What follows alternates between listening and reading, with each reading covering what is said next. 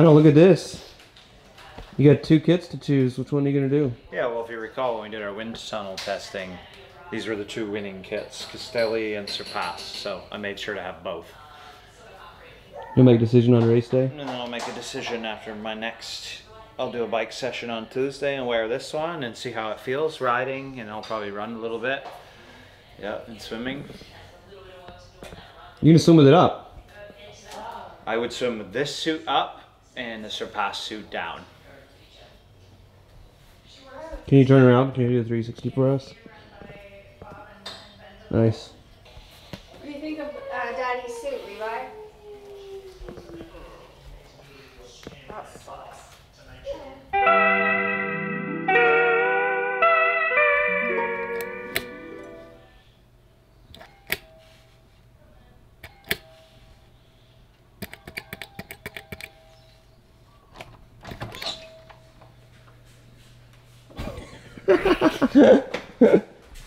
Someone's here. Welcome Yeah. to Villa de Norvège. Inspired, get the motivation high. So here we are ready to, I guess, as, as I guess every athlete on the island is doing after breakfast, watching the Lionel Sanders YouTuber just to yeah, get the motivation high. How many minutes till it starts? It's 3 minutes and 10 seconds. So 9 o'clock every morning we have the live premiere. I've tried to get a hold on um, A private link. a private link pri- because as, as a former YouTuber myself, I know that it's possible to send out the link in advance when the video is uploaded. But I haven't received anyone from the Even you're even you're even a part of the cast. yeah, so I feel I should have had the possibility to preview it in advance and not have to wait for the 9 a.m. countdown as everyone else is waiting for, but it is what it is. Countdown. Now it's 9.45. That means it's gonna be like two minutes delayed.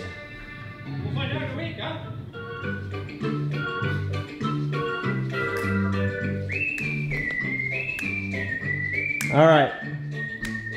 What are your thoughts? Any feedback for Lionel? Skip the last 10k. Relax. Rest. Yeah. Less is more now. Less is more.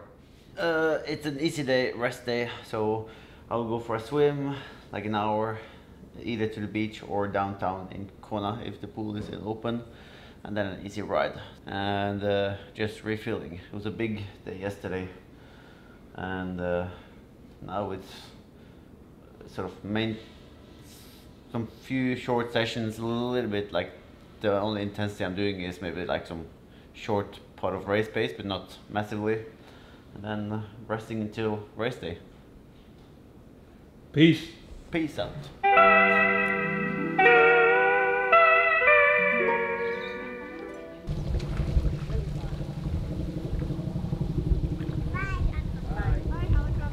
I want to be hitting LT2. I gotta slow down. Unnecessary. We're looking for volume. I gotta slow Here. down a little bit. Okay? Lionel, Push it uh, up from below. are you excited to vlog the next eight days, seven days? Oh my god, when does it end? When does it end? Is this is this what everyone's gonna see? You literally just Privacy. is this is what everyone's gonna see? Nothing. This is my method now. The work has been done, therefore we do no more work. That sound like a good plan? I think you should do a little work. I think that that I think in 2022 that would have been better than what we did. Literally nothing. Just easy swimming even. Don't even bike or run. that would have been a better method than what we did. So nothing. I couldn't even do an easy Ironman. like like literally as easy as I could, I still couldn't do one. Um, no, for peak performance, there definitely needs to be a balance. Uh, but I for sure will uh, lean more towards less is more. Yeah. Hey, jump to daddy. Oh, jump.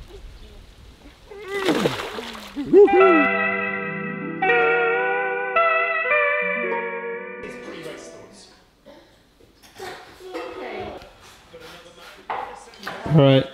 Here's your podium. What are we watching? Uh, we're watching the men's T100. Vegas looks like a great, great uh, course. Um, obviously, you know the not the swim is extremely and looks choppy too. Oh yeah, looks like a tough on the way out. Swim is extremely important in these races, so I'm like I said, I bet the underdog. Like I, obviously Marten Van Riel's the favorite, heavy favorite. Jelle Geens should do good. I don't really like betting. Like you said to me one time, why would I bet? wh- Who was it? Conor McGregor bet a million dollars to win two hundred thousand. Yeah. Like why would I bet? Why would I bet the favorite from my betting standpoint? I bet the underdog, and then I do a long shot. A long shot. I would also bet for a top five Justin Riele. Top five. Now this is one I got. Fo- this is the number one one that I have FOMO on for sure. This this is a great course here. There's Sam Long. My kind of course right here. What's he wearing? his wife, did she expect it to be running this well at the moment? And how would he been then, coming into this race with his injury in mind? I think he's just grateful to be back. Um, kind of talked about Find different ways to try and maximize yourself, maximize the amount of work All right, Lionel, are you recovering or what? I'm recovering. I told you I ain't gonna exercise again until next Saturday. There we go. And what's going on here? See Jelle Geens pulling away from Marten Van Riel. Those were the two favorites. I raced Jelle Geens in a golf course run before. He, the man can run. So this will be a tough one for uh, Van Riel to bridge back down, I'd say. It's not that big. you know, like I think it'll be a tough one. I don't think Geens is, second gap. I don't think he's gonna fade. They're both wearing the, uh, Marten Van is still engaged in talking.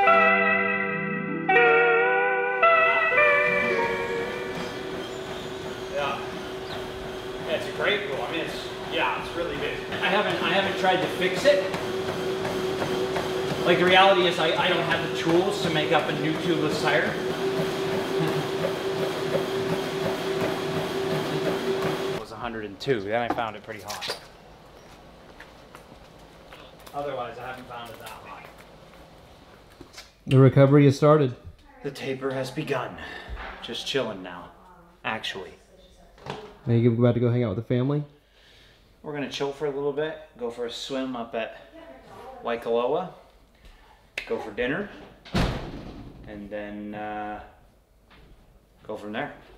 Did you uh, think any more about yesterday's session? Did you get any more data or yeah, thoughts? yeah. I think I think that's why you shouldn't ask people questions in the moment because you asked me how you feeling multiple times, and I was like, I, I don't really know. I don't really know what I'm feeling at this moment. I have to kind of diagnose what's going on here, and so after stewing on it and analyzing the data, I don't think I was out of carbs. I shouldn't say I don't think. I know I wasn't out of carbs because my cognition was so good, and then I also cooled my core down and swam, you know, a good 4K for myself, and then ran 10K and felt good. So my carbs weren't like ultra low. That's not what the mm. feeling was. The feeling was that my core temp was extremely high and my heart rate was extremely high.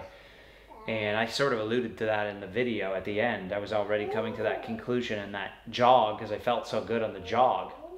And so so I actually wouldn't be too fearful of having burned through all my carbs, which is good because I was only hadn't swam and I was only 21k into the run.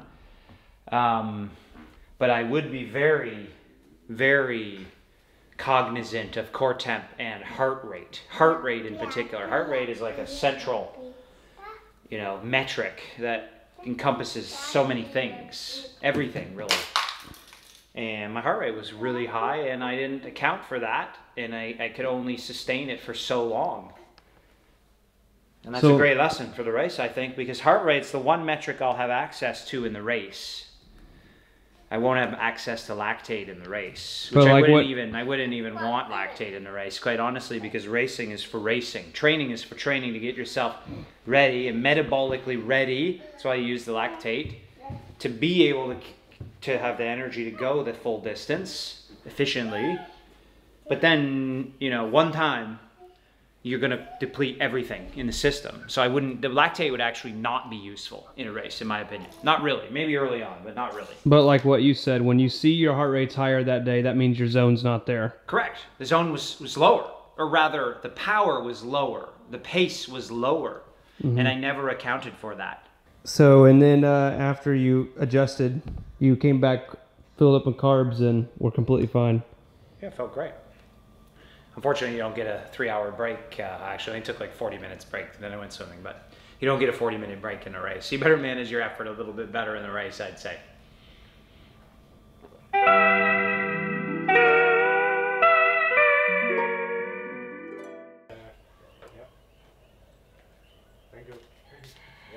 in this day and age where everyone is trying to push the envelope of uh, peak performance and how much uh, carbs you are able to take in and so on, I think nutrition is super important for Ironman racing.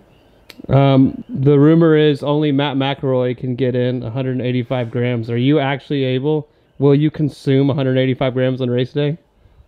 Uh, on the bike, I will aim towards 180 grams of carbs per hour, yes.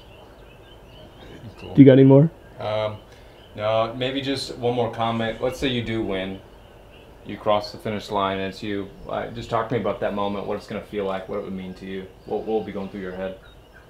I think it will be difficult to describe if I manage to win this race. Uh, I've had some pretty big moments uh, in my career so far. I've been lucky with that, but I think this would mean this would be all the other things I've done in my career would, yeah, kind of this would be really, really big and bigger than anything else I've experienced. And yeah, it's I think it's one of the things you can't really put into words or describe before you probably do it. Great. And then just maybe one more one more comment about um, all the athletes here. They've got respect for the course, for the island, what it means to race here. Just talk to me about what it means to like race in the environment. Yeah, I think Kona is uh, for sure one of the toughest and most difficult places to perform in the Ironman circuit. So you have, uh, yeah, the swim uh, can be really choppy and difficult. The bike is rolling, and then you have the heat and humidity on the bike, and the run is especially where you will feel the heat and humidity. So it's a combination of being in Hawaii, where the climate is so extreme, and also the course itself. You can experience rolling terrain, or you will experience rolling terrain, but you can also have some pretty uh, crazy and nasty winds that is really hard to predict. I'm hoping for a super windy day. Uh, I think that would favor me, so I have my fingers crossed for that. So nice. And cool. All right. Sundown. It's pretty out here, isn't it? Do you recognize this? Do you remember the Kona Vlogs 2022? Lionel's old ones? I'm not that big of a fan of yours. Come on, Magnus. You know you watch I- every Even though I watch your videos, I'm not that big of Come a on. No. Did you watch uh did you watch the T100 race today? I did. Did you have any FOMO? Yeah, I did. there's multiple Yeah. flavors. But We it's have, also nice to be um, here. Uh, and the lemon I think, lime uh, yeah. fuel. I mean, you, come on, you could be looking at the Las Vegas Strip right now. maybe more. yeah, it was. Uh, it looked like a tough We course. also have, Uh, we're launching. This is also pretty nice. them. no, uh, no flavor. Okay. Because if you try to put Did you 180 want grams, All right, Chris, tell us what we're doing again. No. Eating pizza. No, the green flash myth. Yeah, when the sun sets, right as it goes down the horizon, if there's no clouds, especially from up here, it will shine green. It'll flash green. at look away. Now's the important time. All right, watch it. Don't. Look, it's already turning green. No, it's not yet. This is your last birthday gift, Caden. Don't blink. If it turns green, we'll take it down. we see it. Not yet. There Oh. There it was. Oh, it did. green. That was did. only green. You look I did not see it. Yeah, I did. You actually saw it? I didn't see it. You didn't see it? I didn't see it. Uh, Did you see it? Yeah, I saw it. Did you see it? Halfway. Halfway. It was yeah. There was a leak right before it went I wouldn't down, say yeah. flash, but it went green. green for a Did you split see second. it? I thought it would be more dramatic. I thought we would have like a line of green light. Like, Fireworks. And by the way, happy birthday, Caden. happy birthday, Caden.